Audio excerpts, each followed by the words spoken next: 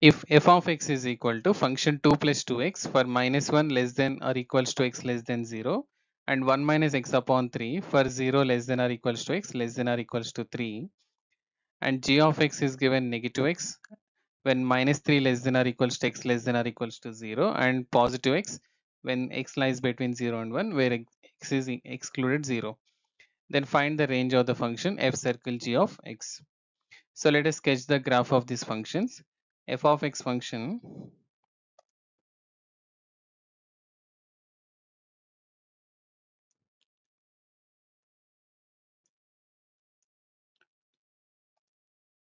We can see that from minus 1 to 0 and again from 0 to 3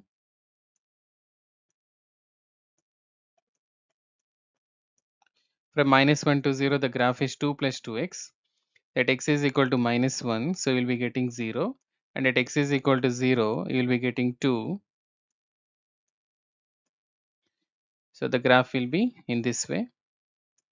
And again from 0 to 3 the graph can be taken as at x is equal to 0 it is 1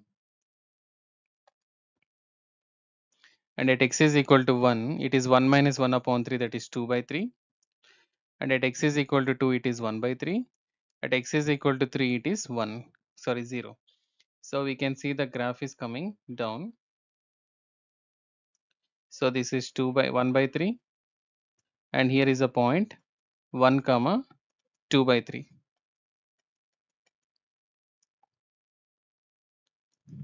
and coming to the graph of the function g of x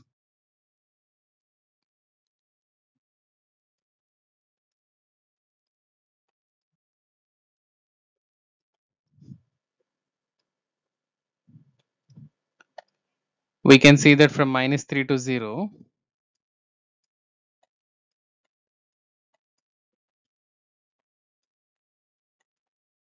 and 0 to 1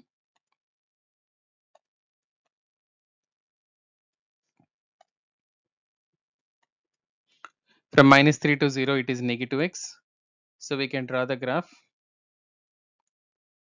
So this is from minus 3 to sorry 3 to 0 to 3 this is the point minus 3 comma 3 and here from 0 to 1 the graph is positive x. So we can draw the graph.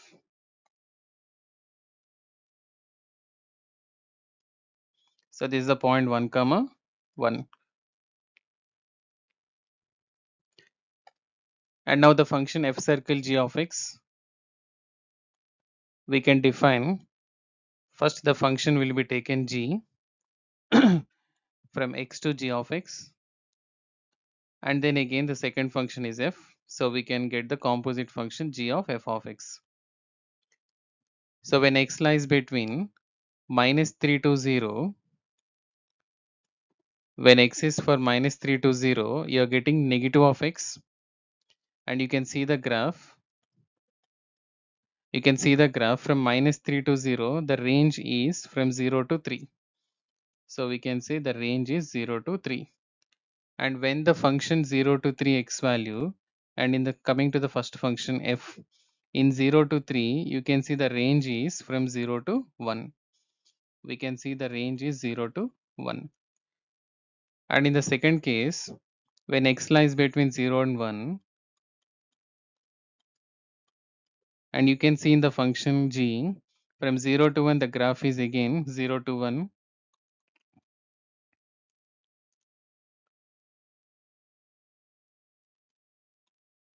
and again here from we can say that the when x lies between 0 and 1 we can see the portion of the graph from 1 comma 0 2 by 3 to 1 so we can say 2 by 3 to 1